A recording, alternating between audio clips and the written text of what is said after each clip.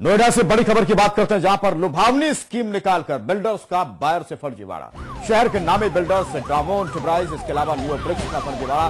बिल्डरों ने की बायर से करोड़ों की ठगी, पैसे कमाने के लालच में भूले नियम कायदे। नायो ब्रिक्स और जामुन के मालिक विपुल गुप्ता है। बायर्स को आशियाना देने के लालच देकर करोड़ों की ठगी कर ली है और करोड़ों रुपए का फर्जीवाड़ा कर विपुल गुप्ता और उसके साझीदार रवि गोयल फरार हो गए हैं। लुभावनी स्कीम का सपना दिखाने वाले पुलिस से खेल रहे हैं आँख बिचौली। तीनों बिल्डर्स ने प्लानिंग के तहत बायर से ठगी की है। तीनों ने मिलकर सौरभ गुप्ता समेत कई बायर्स को झांसा देकर करोड़ों रुपए ठग लिए हैं। नोएडा पुलिस से गिरफ्त में लेने के लिए लगातार दबिश दे रही है। आरोपियों के खिलाफ अलग अलग मामलों में केस दर्ज है। धोखाधड़ी, हेराफेरी और ठगी का मामला दर्ज है। ब्राइज के मालिक राहुल गौर पहले से ही उड़ीसा पुलिस की गिरफ्त में है। बिल्डर्स विपुल गुप्ता और रवि गोयल की तलाश में इस वक्त पुलिस से जुटी हुई है। हर जगह दबिश दी जा रही है। शहर के नामी बिल्डर्स डामोन्ट और ब्राइस नियो ब्रिक्स का फर्जीवाड़ा सामने आया। करोड़ों की ठगी है। शहर के नामी बिल्डर्स हैं डामोन्ट और ब्राइस नियो ब्रिक्स और हमारे सहयोगी सौरभ सानी इस वक्त जुड़ चुके हैं। सौरभ, इन दोनों बिल्डर्स ने किस तरीके से फर्जीवाड़ा किया? कितनी बड़ी ठगी को अंजाम दिया? देखिए, विकास, मैं बता दूँ कि जिस तरीके से इन दो बिल्डरों ने जो। राहुल गौर है ब्राइज ग्रुप के मालिक हैं और दूसरे जो विपुल गुप्ता है न्यू ब्रिक्स इन्होंने पहले एक ब्रोकरेज कंपनी चलाते थे अब ये दाम आउट करके इन्होंने एक कंपनी खोली है जो इन्होंने प्रोजेक्ट लॉन्च करा है बिल्डर बन गए हैं। इन्होंने पहले ये एक तरीके से इन्वेस्टरों को, को ठगी करा करते थे कि आप इतना पैसा इन्वेस्ट कीजिए हम आपको इतना रिटर्न देंगे। हम्म। उसके एवज में इन्होंने सौरभ गुप्ता जो जिन्होंने एफआईआर कराई है उन्हें उनसे एक एक करोड़ रुपए लिए थे और उनके साथ के लोगों से भी कि आप आइए और पैसे लेके आइए और अपने लोगों के भी लगवाइए। उसमें इन्होंने जो चेक दिए थे वो चेक उनके फिर बाउंस होने शुरू हो गए। उसके बाद उन्हें लगा कि अब हम ठग गए क्योंकि जिस तरीके से समाचार प्लस भी पहले ब्राइस आज से ये दो साल पहले एक साल पहले पूरा चिट्टा ब्राइस ग्रुप का खोल चुका था कि जिस तरीके से वो लगातार इन्वेस्टरों के पैसे लगवा के प्रोजेक्ट लॉन्च करके फिर प्रोजेक्ट स्क्रैप करके नए प्रोजेक्ट लॉन्च करते थे फिर दोबारा स्क्रैप कर देते थे। उस तरीके से इन्होंने एक मुहिम चला रखी थी इन्वेस्टरों को छलने की और बायर्स को छलने की जिसमें एक आम आदमी एडवर्टीजमेंट को देख के और ब्रांडिंगों को देख के फंस जाता है। उसी तरीके से इन्होंने एक जाल बुना था। इसमें विपुल गुप्ता का भी बहुत बड़ा रोल था। विपुल गुप्ता न्यू ब्रिक्स पहले इनोवेंस कंपनी ब्रोकर थे। वो वहाँ से इन्वेस्टरों के पैसे लगवाते थे लेके आते थे। फिर उन्होंने इनोवेंस कंपनी बंद कर दी। उसके बाद इन्होंने एक कंपनी खोली न्यू ब्रिक्स जिसके बाद उन्होंने उसमें भी कई तरीके के इन्वेस्टर से जालसाजी करी और लोगों के पैसे लगवाए। और अब वो दाम आउट करके एक प्रोजेक्ट ला रहे हैं। एक बड़े लेवल पे बायर्स को ठगने की और इन्वेस्टरों को ठगने की तैयारी की जा रही है। जिस तरीके से एक मुहिम चल रही है लोगों का पैसा छलने की वो मुझे लगता नहीं है कि नोएडा में रुकेगी। बिल्कुल। सौरभ हमारे साथ सौरभ गुप्ता भी हैं जो कि शिकायत करता है उनसे पूछते हैं सौरभ क्या हुआ था आपके साथ? किस तरीके से ठगी के शिकार आप हुए? जी जी जी सर ये जो है हमको जो है ये रवि गोयल विपुल गुप्ता जी। और ये जो ड्राइव बिस के मालिक है गॉड बिल्डर जो है इन लोगों ने जी। हम हमको जो है क्या कहते हैं अपने ऑफ़िस में बुला करके बड़ी स्कीमें समझाई।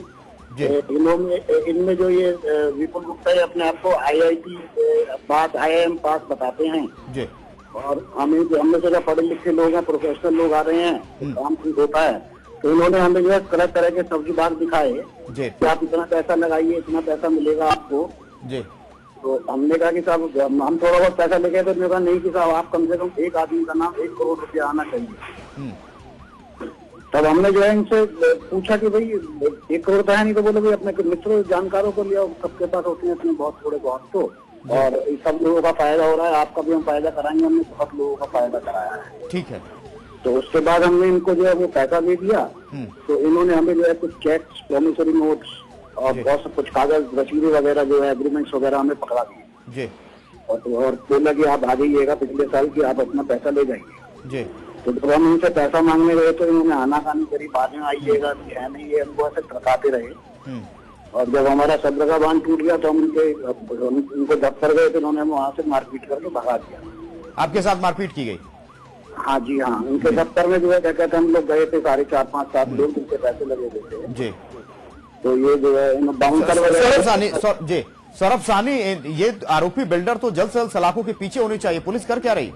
देखिए इस प्रदेश इस प्रदेश में यही एक कमी है कि इस इस प्रदेश में नोएडा की बात करें तो यहाँ पर बिल्डर कितने भी प्रोजेक्ट लॉन्च करे और स्क्रैप करे अथॉरिटी से लेके पुलिस सबको पता होता है कि इनके पास ना अप्रूवल है और ये इलीगल नई नई कंपनियाँ बना के नए नए प्रोजेक्ट लॉन्च करते हैं नए नए नाम बना के लोगों को छलने की कंपनियाँ बनाई जाती है।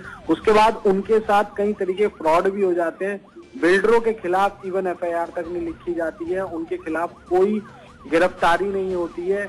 और ब्राइस ग्रुप का मामला बताऊँ तो राहुल गौर का जो मामला है वो ओडिशा में एक फ्रॉड करके आए थे। इस वजह से उनको गिरफ़्तार कर लिया गया। नोएडा में आज तक किसी बिल्डर के खिलाफ कोई कार्रवाई नहीं हुई। और यहाँ पर मुझे लगता है कि विपुल गुप्ता यहाँ भी बच के निकल जाएँगे। जी। सौरभ गुप्ता जब आप पुलिस के पास गए थे तो पुलिस ने क्या किया? अब तक क्या आपको भरोसा दिया है पुलिस की तरफ़ से? हम लोग नहीं पुलिस पुलिस पे हम गए थे तो हम यहाँ पे इनसे मिले थे एक श्रीवास्तव जी हैं जो हैं। टाइम तो जी। एसएसपी हम वो एसएसपी साहब से मिले थे किरण किरण जी से। जी। तो उन्होंने हमारा सारा समझा मामला समझा और फिर उसके बाद जो है दो ढाई महीने तक हम जो है वहाँ चक्कर खाते रहे साहब वहाँ पर। तब उन्होंने हमारी चार तारीख को उन्होंने कहा कि अब आपका जो मुकदमा जो है ये हम दर्ज करते हैं उनको पकड़ के लाएँगे। ठीक है ये पुलिस ने आपको जवाब। सौरभ सानी आपसे सवाल है क्योंकि सिर्फ़ सौरभ गुप्ता नहीं ना जाने कितने लोगों को इसने ठगा होगा और ये इसके बाद फरार है राहुल कोर्ट की तरह। आपको लगता है कि जल्द से जल्द ये जेल में जाएँगे? देखिए मुझे नहीं लगता कि इनकी गिरफ्तारी होगी क्योंकि जिस तरह अगर गिरफ्तारी होनी होती तो आज से चार तारीख को इनकी एफआईआर हो गई थी। रजिस्टर्ड बता रहे हैं काफ़ी महीनों से चक्कर काट रहे हैं उसके बाद एफआईआर रजिस्टर्ड हुई है। और अभी तक गिरफ्तारी नहीं हुई है तो इसका मतलब आप समझ सकते। हैं। और जहाँ तक मेरे को लग रहा है इसमें कोर्ट से जाके स्टे ले जाएँगे और उसके बाद अ, कुछ नहीं होना है इनका ऐसा ये बिल्कुल। बहुत बहुत शुक्रिया सौरभ सानी आपका ऐसे बातचीत के लिए। सौरभ गुप्ता शिकायतकर्ता हमारे साथ जुड़े थे। लेकिन जिस तरह से बड़े बिल्डरों पर बड़ा आरोप लगा है इनका जेल जाना बहुत ज़रूरी इसलिए भी है क्योंकि कई लोगों के साथ ही धोखाधड़ी कर चुके हैं हेरा फेरी कर चुके हैं ठगी कर चुके हैं।